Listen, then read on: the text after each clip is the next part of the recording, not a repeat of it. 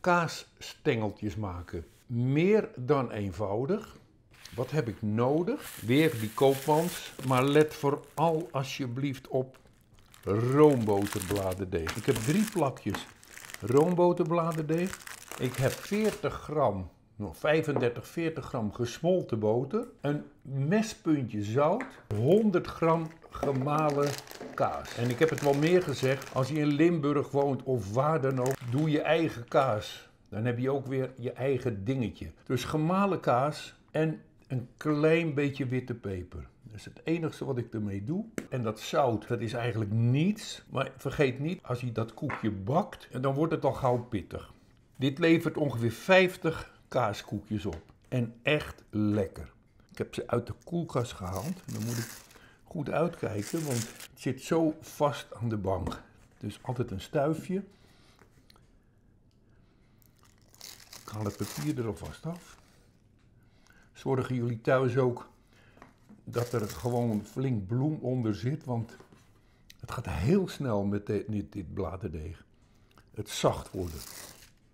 Ik smeer het eerste plakje strijk ik in met boter. Gewoon zoals je, ja, niet dik, niet dun, gewoon dit. Dan strooi ik er wat kaas overheen. Dat mag er best een beetje naast vallen, dat komt zo meteen goed. Dan het tweede plakje strijk ik ook in met boter en dat leg ik er bovenop. Zo. Dit weer instrijken. Weer kaas.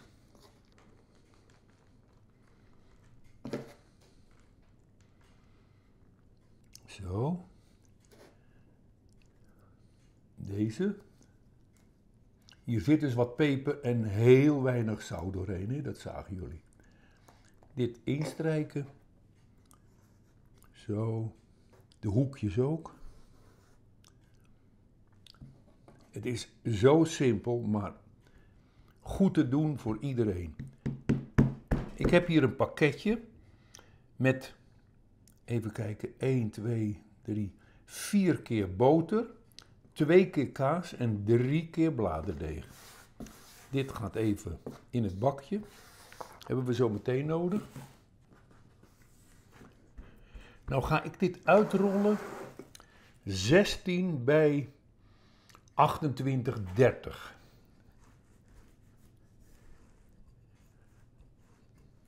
Ik hou daar de centimeter bij. Even kijken. 15.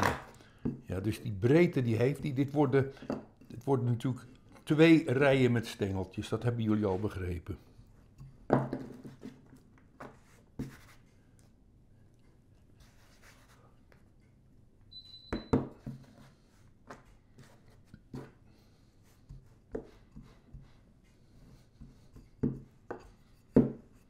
Met dat kleine rolstokje. Je zoekt als het ware op waar die nog wat dikker is. En dus probeer dat overal even dik te doen. Ik was verleden week op de Halemerdijk bij, bij de firma Deksels. En dat is vergelijkbaar met Duikelman. Maar dat is, dat is uh, uh, een ander deel van de binnenstad. En die hadden zo'n soort rolstok, iets dikker met allemaal plastic ringen. Die waren aan de zijkant en op die plastic ringen stond de dikte. En dus, stel je voor, ik, ik kan het zo wel op gevoel, ik heb zo'n ring niet nodig. Maar mensen die zich afvragen hoe dik moet iets, dat stond op die ringen en die schuif je dan op de rolstok. Die blijven dan hier. En dan kan je veilig alle koekjes of dit, dit is denk 2 mm, ik denk het, ik zeg altijd maar eurodikte. Dat vond, had, ik nog, had ik nog nooit gezien. niet een, een rolstok op kogellagers, maar ringetjes die je erop schuift. En dan kan je natuurlijk alles wat je doet uh, even dik doen. Nou, wat heb ik hier? 18, dat wordt een iets langer. En meer dan 30. Nou, dit is geforceerd, dat snappen jullie. Dus dit laat ik heel lang rusten. Nou, ik ga hier nog even boter op doen de laatste boter, 35, 40 gram. Ik, ik wil het even aangeven. wat jullie ervoor nodig hebben. Het kan best zijn dat er nog iets boter in blijft zitten, dus daar moeten we niet moeilijk over doen. Maar dit is nodig voor een kleine 50 koekjes. Kijk, en dan heb ik dit nog. En dit wordt nu over de hele oppervlakte uitgestrooid. En dit is exact een ons. Komt ook eigenlijk wel uit. Het leuke is, je hebt hier bijna, je hebt gewoon niets nodig. Kaas, plakjes en een beetje boter.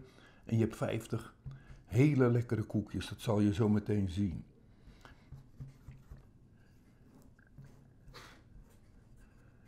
Beetje vastrollen. Dit gaat zeker 4, 5 uur in de koelkast. Ik doe het altijd zo. De ene dag doe ik dit en de volgende dag bak ik ze. Dus je begrijpt, dit gaat nu de koelkast in. En ik pak nu zo'n pakketje wat ik gisterenmiddag uitgerold heb. Kijk, tussen twee plasticjes. Ja, kijk, dit komt ongeveer op hetzelfde neer. Iets korter en ja, nou goed. Ik til hem weer hierop en dat ga ik morgen afhandelen. Dit doe ik wel ter, voor uitdroging of weet ik veel. Zo, zo berg ik het op. Je zou het zelfs in kunnen vriezen, maar goed, waarom zou je dat doen? Dit ga ik nu snijden. Ik snijd het een heel klein beetje af. Gaat wel op de plaat. Eet ik, dat eten we altijd op. Even door de midden. Dus dit, deze stengeltjes zijn 9 centimeter. Prima. En dan krijgen we dit.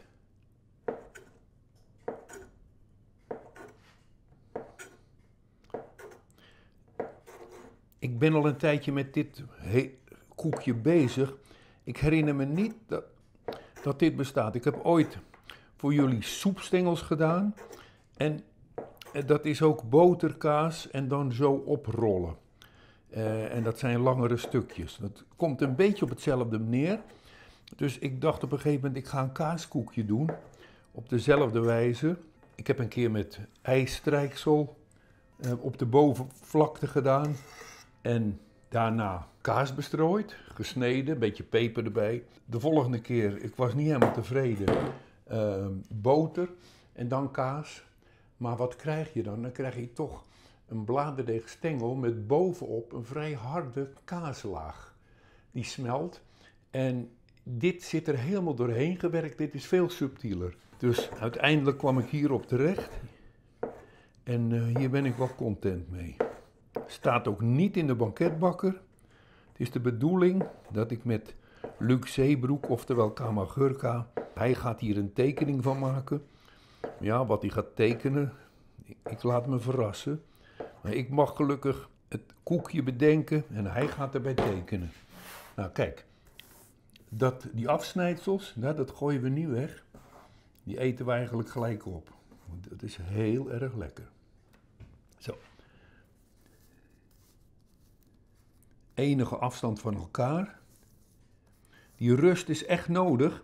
Stel je voor dat ik na een half uurtje koelen die andere koekjes erbij zou pakken. Dan slaan ze om. Dan, ze zijn gewoon te wild dan. Dus ik wil gewoon een rustig stengeltje. Ik weet nooit wat komt er uit de oven. Zijn ze zoals ik het wil hebben of vallen ze tegen? Bladerdeeg doet toch wat hij zelf wil, dus je weet het niet. Nou, het is 100 gram kaas, nog één keer.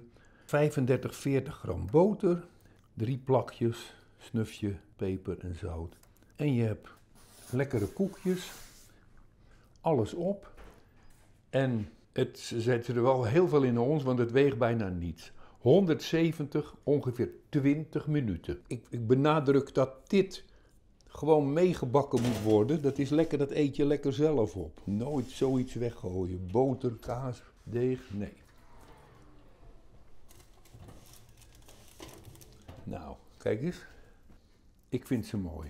Die kaas zit er door en door, die boter en die kaas. Dus het is een heel bros koekje. Nou, dit eten we gewoon alle minuut even op. Lust je nog een video? Dat treft, want er staan er meer dan 1400 voor je klaar. Abonneer je op het YouTube-kanaal of schrijf je in voor de nieuwsbrief, dan hou ik je wekelijks op de hoogte van nieuw materiaal.